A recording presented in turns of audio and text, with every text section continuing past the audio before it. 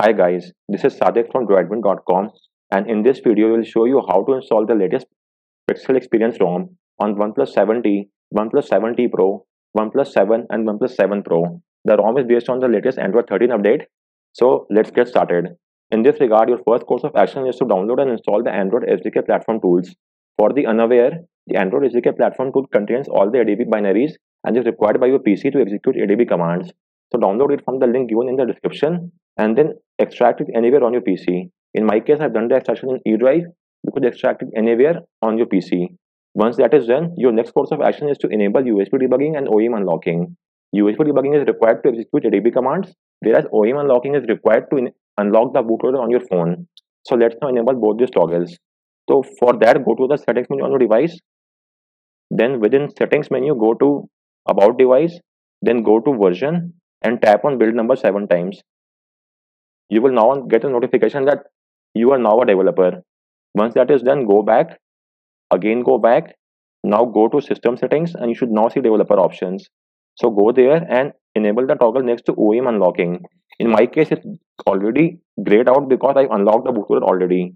In your case, it would be in a white text, so unlock the toggle next to it. After that, scroll down and enable the toggle next to USB debugging as well. You will now get a prompt on your device, tap on OK. Wait for a few seconds and you might get another prompt. If you are not getting it, means the connection has been established successfully. So let's now verify the ADB connection. For that, go to the platform tools folder on your PC, then type in CMD in the address bar and hit enter. This will now open the command prompt with the directory of platform tools. Now type in the ADB devices command. Make sure that you get a serial ID. In my case, I'm getting a serial ID. This means that the ADB connection is successful. If you don't get a serial ID, then tap on revoke USB debugging and then retry the process. Or you could also switch the USB cable and USB port. It is recommended that you use the USB 2.0 port and not the USB 3.0 port. So try out these tweaks and you should get a serial ID after ADB devices command.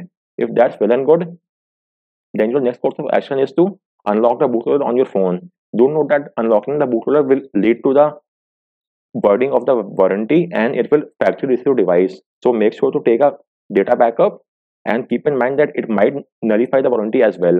So if that's well and good, then let's now boot our phone to fastboot mode and then unlock the bootloader. So booting the phone to fastboot mode requires you to execute a single line of command. Just re-verify that you have enabled both the USB debugging as well as the OEM unlocking toggle is enabled. If that's well and good, then now just execute the following command adb reboot bootloader and your phone will boot to the fastboot mode. As you could see, it started the process the entire process should take only a few seconds and your device will be booted to fastboot mode.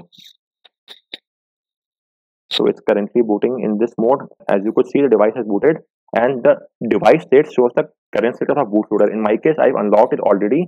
So it's showing the device state as unlocked. In your case, it will be logged. So now type in fastboot devices and hit enter. If you get a serial ID, this means that the fastboot connection is established successfully. If you do not get any serial ID or you get a message as waiting for device, then it means that the fastboot drivers are not installed. In that case, you'll first have to install the fastboot drivers. I've given the link of that guide as well as the video in the description. Please go and have a look at that and install the fastboot drivers. Once you install these drivers, again execute the fastboot devices command and this time you should get a serial ID. If that's well and good, then type in the fastboot OEM unlock command and hit enter. You will now get a prompt on your phone to unlock the bootloader. Select it via the volume keys and hit the power key. Once you hit the power key, it will unlock the bootloader and your device will boot to the OS. So once it boot to the OS, you will again have to enable USB debugging as I've shown in this guide and shown you in the video as well. So again, go to settings menu, enable USB debugging. Once that is done, you will again have to boot your phone to fastboot mode. So once you have enabled debugging, type in ADB reboot bootloader and your device will again boot to the fastboot mode. Once you reach this mode, let's now proceed ahead. So your next course of action is to download the recovery as well as the ROM. In this case, we're using the official Pixel Experience recovery and the ROM as well. The link for all these four files have been given in the description. By four files, I mean the files for all these four devices. I have given the link in the description, so download it corresponding to your device as well. So, for example, I'm downloading for OnePlus 7T you will there see two editions one is the normal edition and next one is the plus edition in the plus edition you will get a couple of additional google apps and features so i'm using this in this case the size of 1.72 mb is corresponding to the rom file and this is the recovery file of pixel experience it is recommended that you only use this recovery and not any other recovery such as TWRP. Only stick with the recovery that comes with the custom ROM. So download both this file and then transfer it to the platform tools folder on your PC. Apart from that, I would recommend you to name this file as ROM and recovery. This is done so that it becomes easier to type in the command prompt. So just right click on it and select the rename option and rename the ROM file to simply ROM and recovery file to recovery. Once that is done, you will now have to flash this recovery to the recovery partition. The command for that is fastboot flash recovery recovery.img. It's as simple as that. So let me show you. The recovery is the recovery partition and recovery.img is the name of the recovery file. So let's now execute this command to flash the recovery file. So open the command prompt and just type in this command. Re-verify that the name of the file is recovery img in your case as well. And now hit enter. It will now flash the recovery partition to the recovery partition and once that is done, you will now have to boot your phone to this recovery. For that, you may either use the fastboot, fastboot, reboot recovery command or use the power volume key to bring up the recovery mode and hit the power key to confirm. So let's use the command method and hit enter. Your device should now reboot to the Pixel Experience recovery. It will take around 4-5 seconds for the process to get completed. So let's check out the, as you could see, it has now booted to the recovery. The recovery is now permanently flashed to our device and it has replaced the SOC recovery. So once now that we are in, in this Pixel Experience recovery, our next course of action is to install the ROM. For that, let me show you the next step. So before that, since you might be aware that our device has two slots A and B, so in order to maintain the consistency between both these slots, we'll have to flash the copy partition zip file. This file makes sure that the data across both these slots are consistent. In other words, they are same. So download the zip file and transfer it to the platform tools folder. For the ease of convenience, let's rename it to something shorter. Let's rename it to CP, which stands for copy partition, and hit enter. We will now have to flash this file via the ADB sideload method from the recovery itself. So first and foremost on the Pixel Experience Recovery, go to Apply Update, then select Apply from ADB. After that, you will have to open the Platform Tools folder and uh, make sure that you are getting this message in the bottom right ADB sideload file name. If that's well and good, now launch the command prompt window inside the Platform Tools folder and then type in ADB sideload followed by the file name. We have already named the file as CP, so CP followed by the extension which is zip and hit enter. This file will now be transferred to the device and installed via the Pixel Experience Recovery. As you could see, the installation is in progress.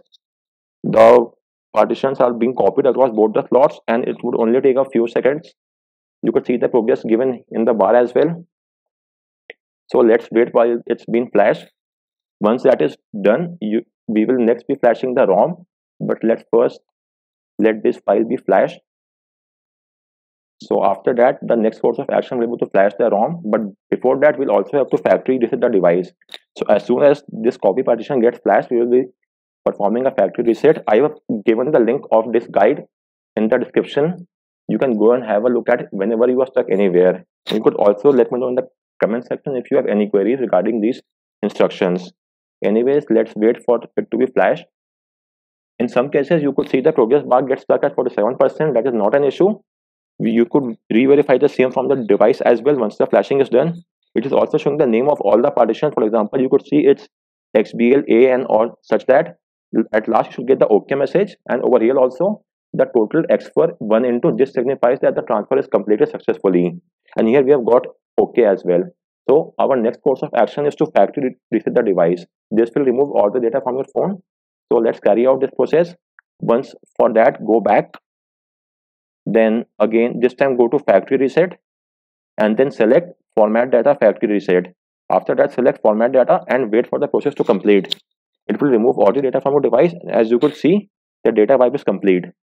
So once that is done our next course of action is now to install the rom file. So for that make sure that you have transferred the rom file to the platform tools and the name of the file is rom. So if that's well and good we'll now just have to sideload the rom zip file for that, you need to just execute the following command. Make sure you're on the home screen. From here, go to apply update, then select apply from ADB. Once you reach this screen, launch the command prompt window and just type in ADB sideload rom.zip where the rom is the name of the rom file which you have downloaded which is the pixel experience rom so type in this command and hit enter the rom file will now be transferred to the device and it could take a couple of minutes. While the rom is being flashed i would like to mention an important details. As you could see in the adb sideload process when the process gets completed it generally shows the, message as total x per 1 into However, in some cases, you might also get a message such as in these forms. As you could see, the messages including the ADB fail to read command success no error, ADB fail to read command no error, and stuck at 47% or ADB failed to read command undefined error. All these errors signifies that the file has been flashed successfully. Yes, it might be a little bit of counterintuitive to hear, but in fact, if you get any of these six messages or five messages, then it signifies that the ROM has been flashed successfully in most cases you should only see this message but even if you see any of these message it's not a cause of concern and the file has been in fact flashed successfully so in the meantime let's check out the result the process has started it has done 10 percent since the rom is quite heavy and is being flashed with a system partition file it would take so in the meantime let's discuss something another thing important if in case your device gets stuck somewhere or you want to restart the process for some reason for example, if the boot partition has gotten corrupted or you have by mistakenly flashed the file in other partition, then you could easily fix all this issue by using the fastboot enhance tool. I will make a separate video on that as well. But since the time ROM is being flashed, let's discuss this method as well. So there is a tool named as fastboot enhance. What you need to do is simply download the firmware file for your device and then get the payload bin file. So for example, this is the OnePlus 7T firmware files in my case. And if I you open the Fastboot Enhance tool, I just need to go to payload dumper, then click on browse and then select the payload bin file. It will be loaded to this tool and then go to the partition tab and then select the partition that you want. For example, let me show you a real life example of where I was getting stuck currently. Let me first, so as you could see that the it's being installed 22% so recently i was trying to install the rom on my phone the pixel experience rom and for that i went to the instruction phase which is the official instruction given by this website itself the official side so in the installation guide when i went there they have told us to flash the recovery pixel experience recovery to the boot partition which is an incorrect information because we have to flash the recovery to the recovery partition in OnePlus 7T. So I was following the official installation instruction and due to this incorrect information, my device got stuck in the boot loop. This is because as told before, we have to flash the file to the recovery partition and not to the boot partition. So because of this incorrect information, I was stuck in the boot loop and then I was able to fix the boot loop using this tool. What I did was simply launch this tool. Then I extracted the fastboot enhance then using the fastboot enhance, I extracted the boot partition. I just extracted the boot partition image in the onto a desktop. Then I launched the command prompt and flashed the boot partition to the boot slot. But this my boot boot slot was rectified and I was able to boot the device to the OS. So guys, please do, do not follow the instruction given on the official side as of now until unless it gets rectified. So because for now it's showing for the boot partition, if you flash the recovery to the in many phones we do flash the recovery to the boot partition but those are those phones in which there is no recovery partition. But for OnePlus 7 series we do have a recovery partition. So the recovery needs to be flashed in the recovery partition. However if by mistake you end up flashing to the boot partition then your device will be stuck in a boot loop or you could say soft brick and in that case you have to extract the payload.bin file via fastboot enhance tool or you could also use a payload dumper python script i have make, made a video on that you can go and have a check on that so just extract the boot partition and then flash it via fastboot flash boot boot.img. Once you do so, you will be able to rectify the boot loop issue. So this is an important point worth remembering that do not follow the instruction given in that in this guide because you might end up you might not you will end up in a boot loop. This is an important piece of information that I wanted to share with you all. In the meantime, let me see the progress. So the ROM has flashed around 45% so it could take around 5 to 10 more minutes in the meantime make sure that you do not end up moving the usb cable or some anything like that however in case your device is not even able to access the fastboot mode for some reason so that is known as the hard brick state fortunately our phone comes with a Qualcomm chipset and for Qualcomm chipset there is a MSM download tool which is only available till OnePlus 9 from OnePlus 10 we are yet to find the workaround to access the method. And fortunately for OnePlus 7 series also we have a MSM download tool. You could access the MSM tool and unbreak your device as and when you want. So let me in fact show you something just a minute so once you I have a detailed guide on this as well. So just a minute. So you could refer to my guide in case something goes wrong and you are not even able to access the fast boot mode. So in that case you could access this guide and download the oneplus tool for your device and get it up and running again in case of msm tool you will need to flash the osp firmware and not the general firmware that comes with your device.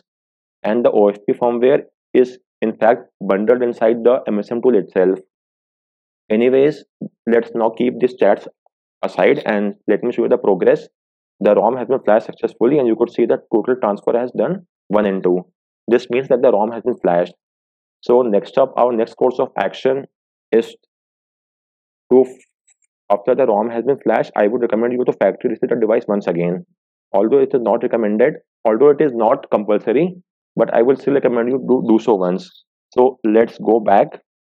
Then go to factory reset and format data and type on format data to just to be double sure to remove all the data and decryption.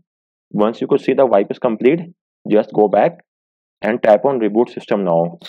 So our device will now reboot to the newly installed pixel experience rom which is based on android 13 so let's now check out the result for the same.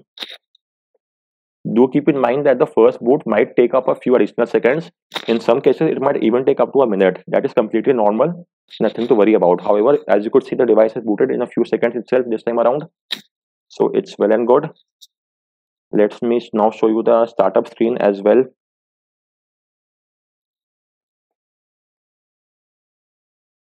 and if you are looking to get hold of any bugs and issues then the best place for that is to head over to the XDA developer website and Search for Pixel Experience for the OnePlus 7T. There you will see all the bugs being discussed and the issues. So let's now proceed fast to the connect to a mobile network. You can skip this. Let's set up offline. Continue. Okay. More. More. Accept. I am just skipping this for the time being. Let's skip the password as well for the time being and it will just take a few seconds. Let's skip this as well. And as you could see our device has booted to the pixel experience rom. Let me show you the settings menu as well. So let's go to the settings menu and wallpaper and style are the some customization. This is the new wallpaper and theming style which was introduced in android 12 and has been carried forward in android 13 in android 13 you get a few additional theming options as well. This is known as a material you theming engine. Apart from that so you could see the about phone section and this is the build number well and good system. And just you could check for system updates. Currently i have not connected to wi-fi so there is no update found. So guys and there are a few other goodies upon with buttons and gestures that you could use so guys on that note we round off this video on how you could install the pixel experience rom on the oneplus 7 series if you have any queries, do let me know in the comment section and please subscribe to this channel for more tips and tricks. Thanks a lot for watching.